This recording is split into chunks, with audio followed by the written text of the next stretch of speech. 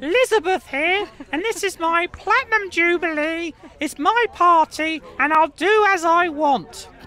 This is and Ads from Herman Hit the Road. Hello, Liz. How you doing? We're currently at Stratford Overland and International Camper Van Show, and right now we're having a Jubilee party with a, a swarm of YouTube channels.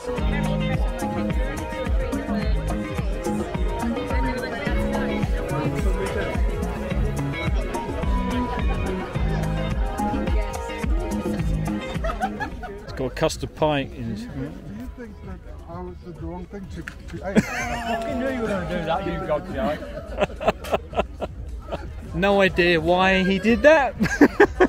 Look at everyone's face. Look at everyone's face. Shocked.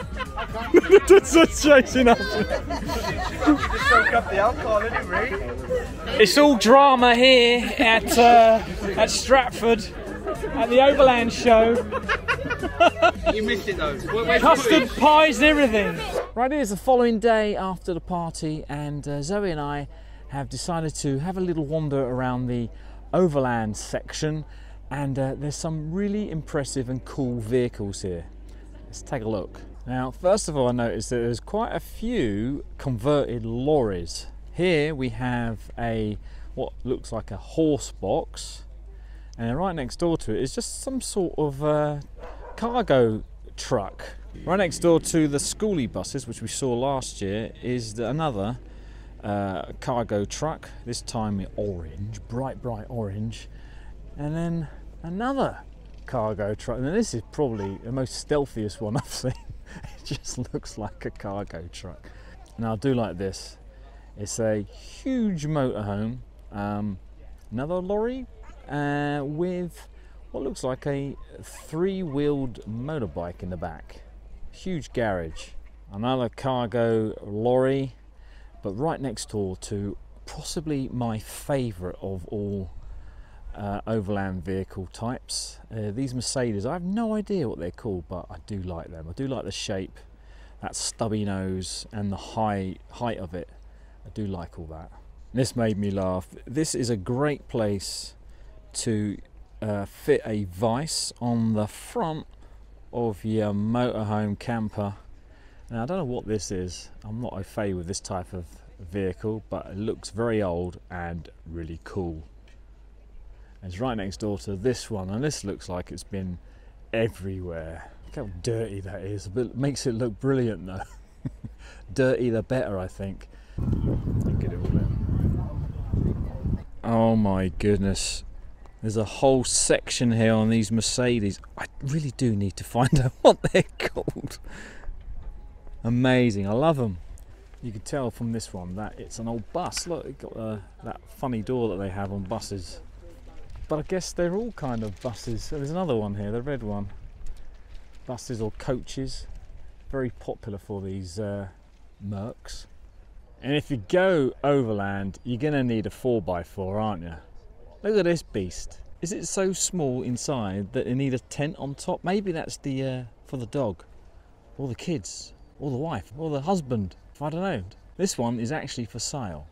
Looking round here, you can see this huge canopy. I think there's the one on the other side as well.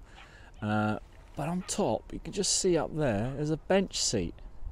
You have a bit of a lookout when you're um, camped up. Amazing. Look how tall this truck is. Look at the side. I'm, I'm right up to here with the wheel. Maybe not. They're gorgeous though, aren't they? This one's called Daisy. And this section seems to be all military trucks. Fancy having a van with a balcony. That's just amazing. Sit outside wherever you want. We saw these two trucks last year, so that's Puddles and Tilda.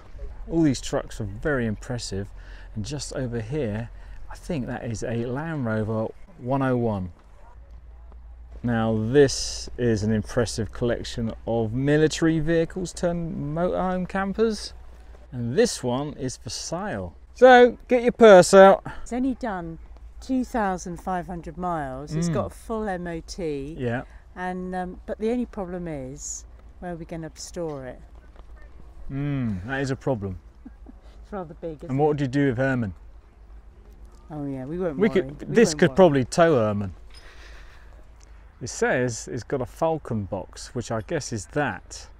This thing here. Uh, but I wonder what that is. That looks like an aircon unit, doesn't it? Just stuck on the side. Probably does their refrigeration as well, and maybe even their heating. And look at these lovely vehicles. These are Pinzgauers. This one's actually for sale, um, but they're six-wheel drive. Amazing. Now I do love a VW, either a splitty or a bay window like this. But look how ridiculously low that is. It is a lawnmower with the appropriate signage, of course. Check out this beautiful car. Pulling that caravan just there. Saw it coming yesterday. Amazing. Beautiful. Lovely colour as well.